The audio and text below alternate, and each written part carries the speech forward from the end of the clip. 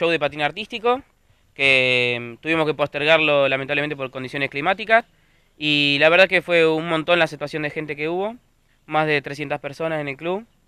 y hubo cinco elencos invitados. Así que todos nos cumplieron, la gente de Defensores de Villa Clelia, danza, eh, lo que es patín artístico, la gente de San Clemente, todo también lo que es patín artístico, el Instituto Ragaza, todos se hicieron presentes. Hacemos casi el cierre del año porque estamos viendo si podemos hacer uno más al final del año, pero los chicos hacen todo lo que, lo que aprendieron durante todo el año eh, estrenamos trajes nuevos, la verdad que hay toda una puesta en escena en lo que es el, la indumentaria, eh, todo el vestuario, bordados, lentejuelas, mucho brillo y bueno, muchos de los niveles más altos de nuestros elencos están ahí en ese, en ese show. No, no, es competencia, sino que nosotros no paramos de, de incrementar, nos actualizamos con lo que es, hay informaciones básicas, por ejemplo,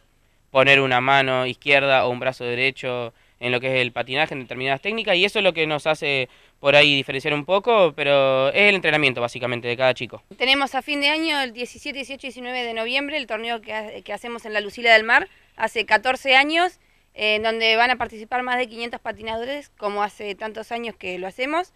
Eh, arriban a la ciudad más de 2.500 personas, así que estamos trabajando para eso. Desde toda la provincia de Buenos Aires, eh, desde Córdoba, eh, Santa Fe, Entre Ríos, un montón de, de, provincias que siempre nos acompañan. En balance, la verdad que estamos muy bien, estamos en, comparándonos muy bien con Córdoba, con Santa Fe, que son provincias fuertes, con Buenos Aires, que están acostumbrados a mucha cantidad de torneos, así que estamos contentos con lo que hacemos. Es en la Asociación de Fomento de la Lucila del Mar, desde hace 14 años que hacemos ese torneo. Generalmente en la Lucila los comercios abrían cerca de diciembre, que es donde empieza la temporada fuerte, y desde que hicimos el segundo torneo de nosotros ahí en la Lucila, eh, ya todos están acostumbrados y abren para noviembre, para los primeros días, para tener ya preparado a los contingentes que llegan. De hecho, en abril, marzo ya los contingentes están contratando hoteles para asegurarse el lugar, ¿no es cierto? 17, 18 y 19 de noviembre es un torneo donde arriban más de 500 patinadores